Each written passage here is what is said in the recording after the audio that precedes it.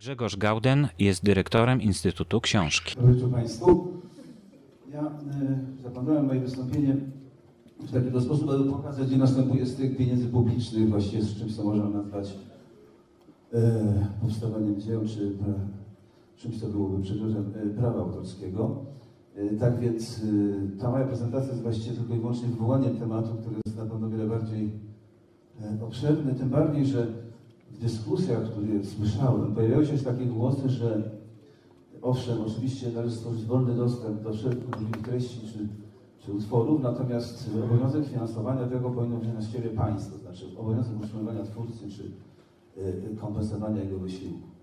Y, co jest rzeczywiście bardzo daleko idąca teza, ja nie chcę z nią teraz polemizować, natomiast chciałem po pokazać Państwu, co się w tej chwili przynajmniej z publicznymi pieniędzmi dzieje właśnie na takiej którą nazwałem Państwo, literatura, pieniądze, bo to jest mniej więcej ten zakres, o którym będę mówił. Proszę Państwa, to jest przede wszystkim e, podstawowe dwa zakresy działań Instytutu Książki, który został powołany 10 lat temu przez ministra kultury.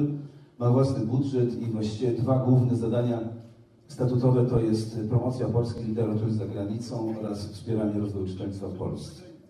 To wspieranie rozwoju czytelnictwa w Polsce akurat nie dotyczy praw autorskich, więc y, to pominę w mojej prezentacji, natomiast będę mówił o tym, co się dzieje w kwestii, yy, ja będę stał, może widział, co się dzieje w kwestii finansowania, wydawania polskiej literatury za granicą. No, trzeba powiedzieć jedną rzecz, mianowicie polska literatura nie jest aż tak wzięta na świecie, żeby wydawcy zagraniczni byli gotowi finansować w 100% ich wydawania. W związku z tym y, stworzony został program wspierania tłumaczy polskich książek i w ten sposób zachęcania wydawców zagranicznych do wydawania polskich książek.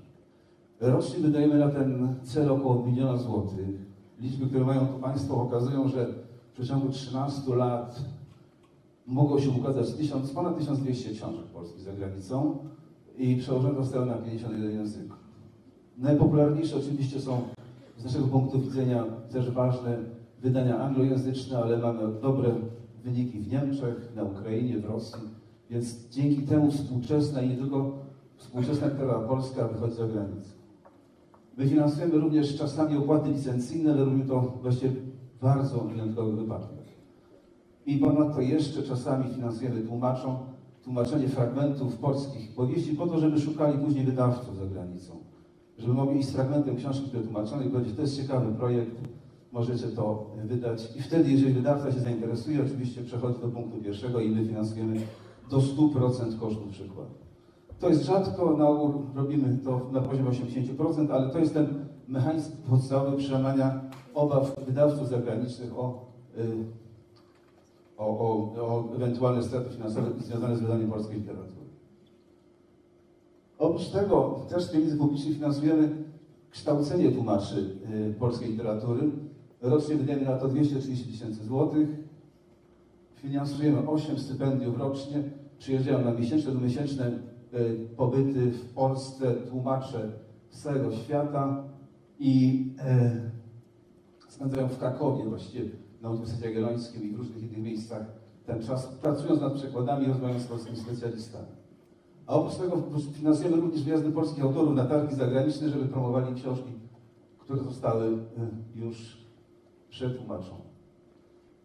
Innym elementem wspierania polskiej literatury czy książki jest finansowanie przez ministra kultury. Tu w tym przypadku Instytut Książki jest tylko i wyłącznie operatorem wydawania pozycji niekomercyjnych.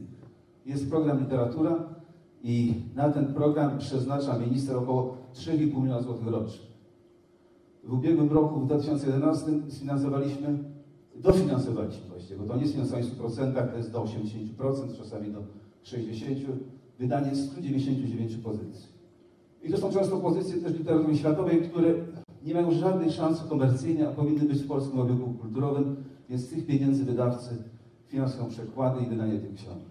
I to były te dwa obszary właściwie, w których bezpośrednio pieniądze idą na wydawanie książek czy tłumaczenie książek, natomiast ostatnio doszedł nowy obszar naszej działalności, czyli prawa autorskie.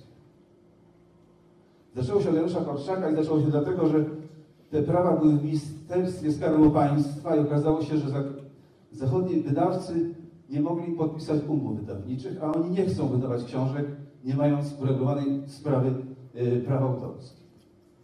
Myśmy przejęli te prawa w 2010 roku i od tego czasu zawarliśmy 33 umowy wydawnicze, sfinansowaliśmy tłumaczenia w 17 krajach, a także udzieliliśmy nieodpłatnych licencji w liczbie 19. Jakie mamy plany związane z Korczakiem? Po pierwsze, nie wiem, czy Państwo wiedzą, że nie ma kompletnej edycji dzieł Korczaka w Polsce do tej chwili. Brakuje dwóch tomów i te dwa tomy zostaną wydane w przyszłym roku. Planujemy reedycję wszystkich dzieł Korczaka, to jest 16 tomów, w nowym opracowaniu naukowym, krytycznym i też zdigitalizowanym. Koszt tego projektu to jest ponad milion złotych na najbliższe 4 lata. I ten drugi projekt zrobiony jest przy współpracy z Korczakianą, Instytutem Badań Literackich, Polskiej Akademii Nauk i z Biblioteką Narodową. W tym roku uzyskaliśmy z licencji 80 tysięcy złotych. Wszystkie te pieniądze są przeznaczone na pracę, które Państwo tu widzą e, na tej, e, na tej planszy. I wszystkie pieniądze, które mamy z Korczaka, będą przez, przeznaczone w przyszłości wyłącznie na promowanie albo opiekę nad jego spuścizną. Co planujemy w tej chwili?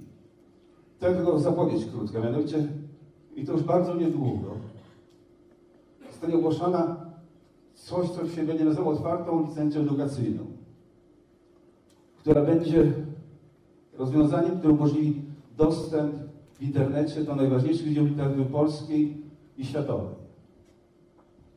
To właściwie można powiedzieć, że kwestia tygodnia, dwóch, abyście Państwo otrzymali informację na ten, na ten temat. Ta praca już jest skończona. Od czego zaczynamy, to są lektury szkolne. Myśmy wysłali już oferty do właścicieli praw autorskich 80 pozycji. Zrobiliśmy to na przełomie września i października i w tej chwili te odpowiedzi spływają. Są bardzo różne odpowiedzi. Są ludzie, którzy decydują się i są chętni. Są tacy, którym pojawia się wizja jakichś gigantycznych pieniędzy, ponieważ są to lektury szkolne i liczą ewentualne przychody w setkach tysięcy dolarów. A potem jeszcze jest jedna bardzo ważna sprawa. Nie wszystkie prawa autorskie czy status praw autorskich jest nam znany. Także też oprócz tego, że wysłaliśmy to 80 ofert, w tej chwili pracujemy, aby jeszcze wyjaśnić stan praw autorskich co najmniej kilkunastu pozycji. I ten proces ruszył już w tej chwili. W grudniu będą podpisywane pierwsze umowy. I to jest wszystko, co miałem Państwu do powiedzenia. Dziękuję za uwagę.